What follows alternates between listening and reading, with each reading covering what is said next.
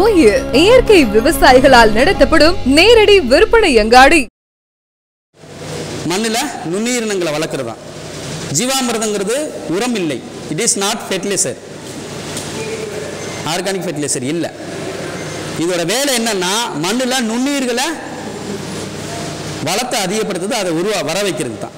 இப்போ நம்ம அடுத்து வந்து என்ன பண்ணுறோம்னா இந்த ஜீவாமிரதத்தில் எல்லாருக்குமே தெரியும் ஜீவன் ப்ளஸ் அமிர்தம். ஜீவனான உயிர்களுக்கு அமிர்தமான மருந்து.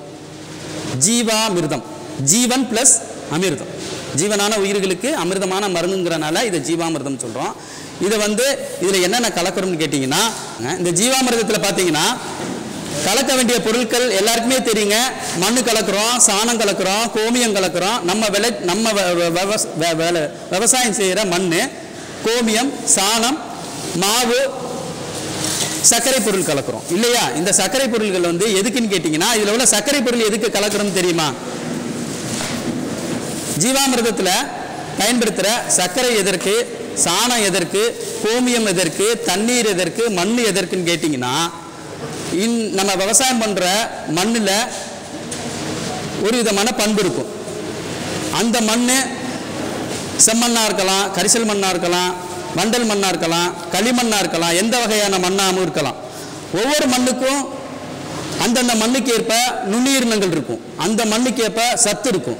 புரியுதுங்களா? எல்லா மண்ணிலையும் எல்லா நுண்ணுயிரினும் இருக்காது. இப்போ எங்களோட ஆராய்ச்சியில் பார்த்தீங்கன்னா பெரம்பலூர் மாவட்டத்திலேருந்து ஒரு மண் எடுத்து பண்ணோம் திருச்சி மாவட்டத்திலேருந்து பண்ணோம் புதுக்கோட்டை மாவட்டத்திலேருந்து பண்ணோம். இப்போ மூணு மாவட்டத்திலேருந்து மண் என்னாகும்? வேறு வேறு மண்ணுங்கள் இருந்துச்சு. அப்போ வேறு வேறு நுண்ணுயிர்கள் இருக்குது அதோட எக்ஸ்பெரிமெண்ட் ஜீவாமிரத்தை வளர்த்து பார்க்கும்போது இந்த மூணு மூணு விதமான ரிசல்ட் அதுக்காக தான் நீங்க எந்த இடத்துல விவசாயம் பண்றீங்களோ அந்த இடத்தோட மண்ணு தான் நீங்க பயன்படுத்தணும். நான் வளமான மண்ணு கருப்பான மண் இருக்கு ஆகா இதை கொண்டு ஜீவாமிரதத்தில் போட்டால் நல்லா இருக்குமே அப்படின்னு கொண்டு எடுத்தாந்து போட்டுறாதீங்க. உங்கள் தோட்டத்தில் உள்ள மண் எடுங்க அப்போ தான் அந்த மண்ணில் உள்ள நுண்ணீரினங்கள் அதில் மல்டிபிள் ஆகி திருப்பி நம்ம மண்ணுக்கே கொண்டு கொடுக்குறோங்க.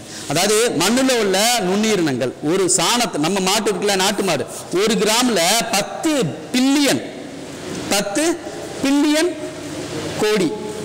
நுண்ணுயிரினங்கள் இருக்குங்க. ஒரு பில்லியன்கிறது நூறு கோடி. ஒரு மில்லியன்கிறது ஒரு பில்லியன்கிறது அப்போ அப்ப பத்து பில்லியன்கிறத எவ்வளவு இருக்கும்னு நீங்க நினைச்சு பாருங்க. அவ்வளவு நுண்ணுயிர்கள் இருக்கு சாணத்துல. அந்த சாணத்துல உள்ள நுண்ணுயிர்களை பெருக்கி நம்ம மண்ணுக்கு கொடுக்க போறோம். ஓகேவா? அந்த அந்த கோமியத்தில் உள்ள நுண்ணுயிரினங்களையும் நோய் எதிர்ப்பு சக்தியை பெருக்கி மண்ணில் கொண்டே கொடுக்க போறோம். நம்ம மண்ணில் உள்ள நுண்ணுயிரினங்களை பெருக்கி நம்ம மண்ணிலே கொடுக்க போகிறோம் நம்ம தண்ணிக்குன்னு நுண்ணுயிரினங்கள் இருக்கு. அந்த தண்ணியில் உள்ள நுண்ணுயிரினங்களை பெருக்கி என்ன எங்கே கொண்டு கொடுக்க போகிறோம் சாணத்தில் உள்ள நுண்ணுயிர்கள் மண்ணில் உள்ள நுண்ணுயிர்கள் கோமியத்தில் உள்ள நுண்ணுயிர்கள் மண்ணில் உள்ள நுண்ணுயிர்கள் நம்ம தண்ணியில் உள்ள நுண்ணுயிர்கள் இந்த நுண்ணுயிர்கள்லாம் ஓரளவுக்கு வளர்க்குறோம் இல்லையா? அது சாப்பாடு வேணும் இல்லையா? இப்போ லேபில் நாங்கள் நம்ம வந்து லேபில் ஒரு நுண்ணுயிரை வளர்க்குறோம்னா என்ன பண்ணுவேன் டெஸ்டிப்லேயோ அல்லது கோனிக்கல் பிளாஸ்ட்லையோ என்ன பண்ணுவோம்? அகாராகாருங்கிற ஒரு புரோட்டீனுக்கு புரோட்டீன் வேணும். அப்போ அகாராகார் கொடுப்போம். அப்படி இல்லையா?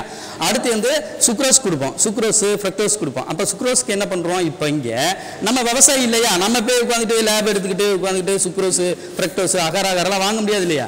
நமக்கு என்ன தேவை? நுண்ணுயிரினங்களுக்கு சாப்பாட்டுக்கு புரோட்டீன். சுக்ரோஸ் வேணும் இல்லையா? அந்த புரோட்டீன் தாங்க நீங்கள் எடுக்கிற கடலை மாவு. ஏதோ ஒரு மாவு.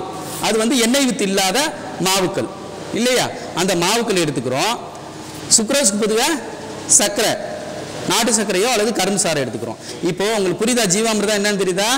நுண்ணீர்கள் தானே மெயின் சொன்னோம். நுண்ணீர்களை எடுத்து வளர்த்து பெருக்கி திருப்பி நம்ம மண்ணுக்கே கொண்டு கொடுக்க போகிறோம் அப்படி கொடுக்குறதுனால என்ன ஆகுதுன்னு கேட்டிங்கன்னா இந்த நுண்ணுயிர்கள் இப்போ உ- உயிரினங்கள் இந்த மண்ணுக்கு எல்லாமே கொடுக்குறது நுண்ணுயிர் தாங்க. செடிக்கு நோய் எதிர்ப்பு சக்தியை கொடுக்கறது பேசிலஸ் துரிசியன்சி அப்படிங்கிற ஒரு நுண்ணுயிர் அது அந்த பேசிலஸ் துரிசியன்சிங்கிற நுண்ணீர் அந்த மண்ணை சுற்றி இருந்துச்சுன்னு வச்சிருங்க நிறையா. நீங்கள் தண்ணி ஊற்றிங்க ஏதோ கொடுப்பீங்க. அப்போ தண்ணி வந்து என்ன ஆகும்? மண்ணோட கலந்து அந்த இடத்துல இருக்கும். அப்போ வேறு என்ன பண்ணும்? சவ்வூடு பரவல் மூலமாக அந்த தண்ணியை உறிஞ்சும். அப்படி தண்ணியை உரியும் போது இங்கே இருக்க நுண்ணீர்களோட பண்பும் சேர்ந்து போந்துச்சுன்னா அந்த செடியில் என்ன ஆகும் நோய் எதிர்ப்பு சக்தி அதிகமாகுங்க நோய் எதிர்ப்பு சக்தியை கொடுக்கறது நுண்ணீர்கள் தாங்க. வளர்ச்சியை கொடுக்கறது நுண்ணீர் தான். பூக்க பூக்க வைக்கிறது காய வைக்கிறது கடியை வைக்கிறது விதையாக்குறது எல்லாமே நுண்ணுயிர்கள் தான். மைக்ரோ ஆர்கனிசம் தான் எல்லாமே. அதனால தான் இந்த நுண்ணீர்களை வந்து பெருக்கி கொண்டாந்து கொடுக்கும்போது என்ன ஆகுது மண்ணில் ஒரு நூறு மை மைக்ரோஆர்கன்ஸ் ஒரு பாக்டீரியாவோட எண்ணிக்கை இருக்குன்னா அதை வந்து என்ன ஆகும் நூறாயிரம் கோடி நுண்ணுயிர்களாக பெருக்கிடும் அப்போ மண்ணில் வளர்த்த வளமாக்கும் போது என்னாகும்? இந்த நுண்ணுயிர்கள்லாம் மண்ணை சாப்பிட்டு மண்ணை சாப்பிட்டு மண்ணை வளமாக்குது. இப்போ மண்ணை சாப்பிடுச்சுன்னா மைக்ரோ ஆர்கன் சாப்பிட்டதுக்கப்புறம் அதை சாப்பிட்றதுக்கு மேக்ரோ ஆர்கன்ஸுங்கிற மண்புழு அந்த இடத்துக்கு வரும் இல்லையா? வரும். அப்போ அந்த மண்புழு வந்து என்ன பண்ணும்? இதை சாப்பிடும். மண்ணில் மூணு வகையான நுண்ணு மண்புழுக்கள் இருக்குது. மேல் மட்டம் இடையில உள்ளது. மீசோபில்ஸ்னு சொல்லுவான். ஏன் அதுக்கடுத்து எண்டோ எண்டோஃபில்ஸ்னு சொல்லுவாங்க கீழே இருக்குது. மூணு வகையான மண்புழுக்கள். மேலே உள்ளது இப்படி உழுதுட்டு போயிட்டே இருக்கும். இப்படியே போகும். மேலே உள்ளதை சாப்பிட்டு அப்படியே போட்டுகிட்டே இருக்கும். சென்டரில் உள்ளது என்னாகும்? கீழேருந்து மேலே போயிட்டு வரும். இவங்க வந்து இங்கே உள்ள மண்ணை எடுத்து சாப் மேலே உள்ள மண் இவங்க மேலே உள்ளவங்க சாப்பிட்டு போட்டிருக்காங்கல்ல அதை எடுத்து சாப்பிட்டு கீழே வந்து கீழே உள்ளதை எடுத்து மேலே தூக்கி போடும். இந்த மூணாவது வகையான மண்புழு என்ன ஆகும்னா கீழேருந்து மேலே வரைக்கும் வந்து என்ன பண்ணும்? மேலே போயிட்டு வரும். மூணு விதமான அப்போ என்ன ஆகும் ஒரு தாவரம் இருக்குன்னா அதோட வேர்லேருந்து பக்க வேர்லேருந்து ஆணி வேர் வரைக்கும் என்ன ஆகும் மைக்ரோ ஆர்கானிக்ஸ்கள் அதோட வாழ்க்கை சுழற்சியை ஏற்படுத்துமா? அப்படி போயிட்டு வரும்போது என்ன ஆகுது மண் ஆட்டோமேட்டிக்காக இது சாப்பிட்டு போடுறதுல இதோட சாப்பாடு கழிவில் என்ன ஆகுது சத்துக்கள் மணி சத்துங்கிறது சுண்ணாம்பு சத்துங்கிறது சாம்பல் சத்துங்கிறது எல்லா சத்துமே என்ன ஆகுது? நைட்ரஜன் சத்து எல்லாமே இதில் வந்துடுது ஸோ இதுதான் கான்செப்ட் இப்போ ஜீவாமிர்தம் என்ன வேலை செய்யுதுன்னு காமிச்சிட்டோம். இப்போ ஜீவாமிர்தத்தை எப்படி பயன்படுத்துறது? இதுக்கு தேவையானது நம்ம என்ன பண்ணுறோம் குளோரின் கலக்காத தண்ணி எடுத்துக்கிறோம். ஒரு பக்கெட்டில் இப்போ வந்து இரநூறு லிட்டர் தண்ணி எடுத்துக்கணும். இந்த இந்த பக்கெட்டில் இரநூறு லிட்டர் தண்ணிக்கு இப்போ நம்ம அளவு கம்மியாக இருக்குது. இதில் இரநூறு லிட்டர் நம்ம எவ்வளோ தயாரிக்கிறோமோ இரநூறு லிட்டர் தண்ணி எடுத்துக்கிறோம். தண்ணியில் என்ன பண்ணுறோம் பத்து கிலோ சாணம் எடுத்து போடுறோம். இந்த சாணம் எது இருக்கட்டும்? நாட்டு மாட்டோட சாணமாக இருக்கணும். மேலே வச்சு. நாட்டு மாட்டோட சாணம். நாட்டு மாட்டோட சாணத்தை பற்றி உங்களுக்கு தெரியும். அது சாணம் எதுக்கு பயன்படுத்துறோங்கிறதும் தெரியுது. இப்போ நம்ம வந்து என்ன நினைக்கிறோம்? இந்த இப்போ இப்போ இந்த ஜீவாமிரதம் எதுக்கு கரைக்கிறோம்னு தெரிஞ்சுக்கிட்டீங்க இல்லையா? இப்போ இவ்வளோ முக்கியமான ஜீவாமிரதத்தை தயாரிச்சுட்டு கொண்டு போய் ஏனோ தானோன்னு நிழல் இல்லாத இடத்துல சும்மா ஒரு வலை வயலோட வரப்பில் காமிச்சிட்டு வெயில் படுற மாதிரி வச்சுட்டு ட்ரம்மை இறுக்கி மூடிட்டு சில பேர் என்ன பண்ணுறாங்கன்னா அந்த வாலி இருக்குல்ல மேலோட வாளி ட்ரம்மோட இரநூறு லிட்டர் வாளியில் தயாரிக்கும்ல மேலே இறுக்கி வச்சிடுறாங்க. புரியுதுங்களா அந்த மாதிரி வைக்கக்கூடாது. அந்த மாதிரி வைக்கிறதுனால என்ன தீங்குன்னு கேட்டிங்கன்னா ஒரு நுண்ணுயிர்கள்னா ஒரு அதுக்கடுத்து என்னன்னு கேட்டிங்கன்னா இதுக்கு தேவையான பொருள் வந்து பத்து கிலோ சாணம் போட்டோம் பத்து லிட்டர் கோமியம் போட்டிருக்கோம். அதுக்கடுத்து வந்து கடலை மாவு ஒரு கைப்பிடி மண் வளமான தோட்டத்து மண் சர்க்கரை புரோட்டீனுக்குள்ள கடலை மாவு எல்லாத்தையும் போட்டுருவோம். இப்போ இந்த மாதிரி வைக்கும்போது ஒரு நுண்ணுயிர்கள் என்ன ஆகும்னா ஒரு கூடாரத்தில் வச்சு வளர்க்கும் போது காற்றுல வாழக்கூடிய நுண்ணுயிர்கள் காற்றில்லா சூழலில் வாழக்கூடிய நுண்ணுயிர்கள் ரெண்டு இருக்கு இல்லையா? ஏரபிக் அனரபிக் மைக்ரோ ரெண்டு இருக்குது. இந்த ரெண்டு மைக்ரோ வாழணும் அதில். காற்றுல உள்ள நுண்ணுயிர்கள் வாழணும் காற்றுல இல்லாத நுண்ணுயிர்கள் வாழணும் இல்லையா? இப்போ நம்ம மூடி வச்சுறதுனால என்ன பண்ணுதுன்னா உள்ள இருக்க அந்த அனரபிக் கண்டிஷனில் வாழக்கூடிய நுண்ணுயிர்கள் மட்டும்தான் வாழும். காற்று உள்ள சூழலில் உள்ள ஏரோபிக் மைக்ரார்கன்ஸும் அதில் என்ன ஆயிரும்? டெத் ஆயிரும். இறந்துடும். புரியுதுங்களா? அதனால ஒரு சணல் சாக்கு எடுத்து ஈரத்தில் நினச்சி அதை மேலே வச்சு கட்டிடலாம். நம்ம ஜீவாமிர்தம் தயாரிச்சதுக்கு அப்புறம் பராமரிக்க வேண்டிய முறையில் வழிமுறையில் ஒன்று ரெண்டாவது என்னன்னு கேட்டிங்கன்னா அதை வந்து ஒரு நாளைக்கு டெய்லி கடிகாரம் சுற்றும் இல்லையா அந்த முள்ளு திசையில் கலக்கணும். அது எதுக்குன்னு கேட்டிங்கன்னா அதோட கீழே வந்து நுண்ணீர் இந்த படிமமெல்லாம் கீழே போயிடும் மேலே வந்து ஃபில்டர் ஆயிரும். சத்துக்கள்லாம் கீழே தான் இருக்கும். நுண்ணீர்கள்லாம் கீழே இருக்கும்போது அதுக்கு சாப்பாடு பத்தாத அடிச்சுக்கிட்டு மேலே உள்ளது பத்தாம போயிடும் அதை அந்த உணவை வந்து பகிர்ந்து கொடுக்கணும் கலக்கி விடணும். அப்பதான் நுண்ணீர்கள் வந்து எல்லா இடத்துலையும் பெருகி வளரும். ரெண்டாவது புரியுதுங்களா? மூணாவது எந்த என்னன்னு கேட்டிங்கன்னா குறிப்பிட்ட காலத்தில் எடுத்து பயன்படுத்தணும். குறிப்பிட்ட காலத்தில் எடுத்து பயன்படுத்தணும். இந்த குறிப்பிட்ட காலத்தில் எடுத்து பயன்படுத்துறது தாங்க முக்கியம். ஒரு நுண்ணுயிர் ஜீவாமிர்தம் வளர்க்குறோம். வளர்ச்சி எப்படி இருக்குன்னு பாருங்க. ஆரம்ப நிலை எந்த வளர்ச்சியும் இருக்காது. எந்த வளர்ச்சியும் இருக்காது. அப்படியே தான் இருக்கும். இரண்டாம் நிலை வளரும். இல்லையா? மூன்றாம் நிலை நல்ல வளர்ச்சி இருக்கும். அதுக்கப்புறம் வளரவும் வளராது சாகவும் சாகாது சென்டரில் இருக்கும். அதுக்கப்புறம் இறக்க ஆரம்பிக்கும். அதுக்கப்புறம் ஃபுல்லாக டெத்தாயிரும் ஒன்று ரெண்டு மூணு நாலு அஞ்சு அஞ்சு படி இருக்கு. இந்த அஞ்சு படியில் எந்த படியில் நம்ம எடுத்து வைக்கணும்? எதில் எடுத்து வச்சா நல்லது? ஃபஸ்ட்டு படியா ரெண்டாவது படியா மூணாவது படியா நாலாவது படியா அஞ்சாவது படியா?